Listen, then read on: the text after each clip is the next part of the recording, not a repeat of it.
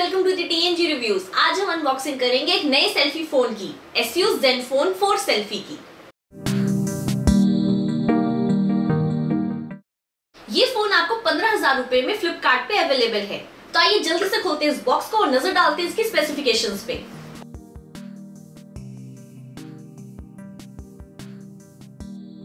Box में सबसे पहले हमारे पास फ़ोन है।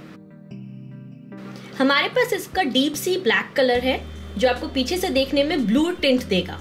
वैसे आपको इसमें सनलाइट गोल्ड कलर और रोज पिंक कलर भी अवेलेबल है।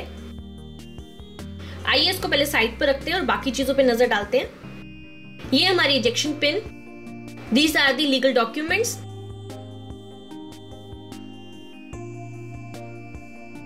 ये हमारा ट्रेवल अडेप्टर और ये माइक्रो यूएसबी टू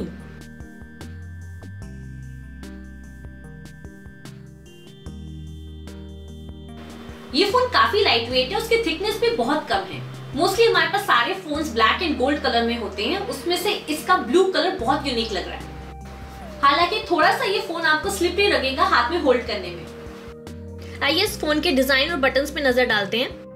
फ्रंट में हमारे पास डुअल कैमरा सेटअप है, एक 20 मेगापिक्सल का कैमरा जिसका अपर्चर साइज़ f2 है, और एक 8 मेगापिक्सल का कैमरा 120 डिग्री वाइड एंगल के साथ। उसके साथ आपको एक सॉफ्ट लाइट एलईडी फ्लैश भी मिल रहा है। साथ में ईयरपीस और कुछ सेंसर्स नीचे हमारे पास 5.5 इंच की आईपीएस डिस्प्ले है।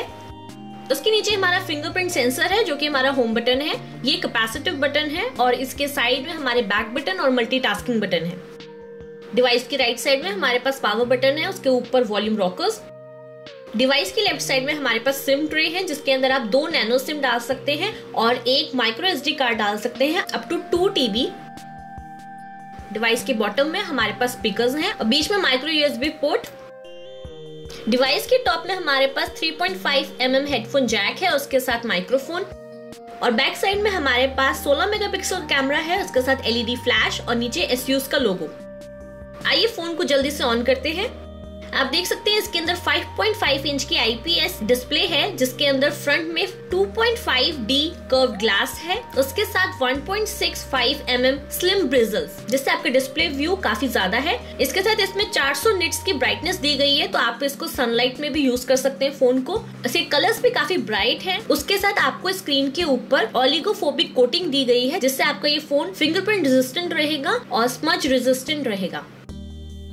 ये डिवाइस आपका रन करता है क्वालकॉम स्नैपड्रैगन 430 ऑक्टोकोर प्रोसेसर से, उसके साथ एडोनो 505 जो कि बेस्ड है एंड्रॉइड 7 पे। इसके अंदर आपको चार जीबी रैम और चौसठ जीबी इंटरनल मेमोरी मिल रही है, जिसको आप दो टीबी तक एक्सपैंड कर सकते हैं एक डेडिकेटेड स्लॉट के साथ। अगर हम यूज़र अवेलेबिलिटी रैम की बात करें तो आपको इसके अंदर 51.32 जीबी इंटरनल मेमोरी और 2.5 रैम फ्री मिल रही है।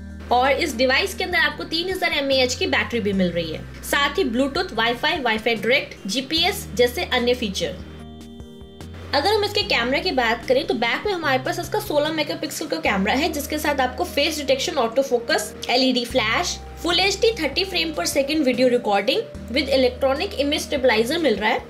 इसका फ्रंट कैमरा एक्चुअली में इस फ़ोन का मेन फीचर है, जिसके अंदर आपको डुअल कैमरा सेटअप मिल रहा है 20 मेगापिक्सल प्लस 8 मेगापिक्सल जिसमें आपका अपर्चर साइज़ f2 है और उसके साथ आपको एक 120 डिग्री वाइड एंगल मिल रहा है। साथ ही आपको इसके अंदर soft light LED flash low light mode H D R mode beauty mode selfie panorama shot G I F animation जैसे फीचर्स भी मिल रहे हैं।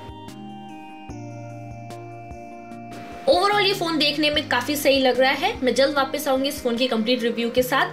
अगर आपको ये वीडियो अच्छा लगा है तो इसको ज़रूर लाइक करें शेयर करें और चैनल को सब्सक्राइब करना ना भूलें।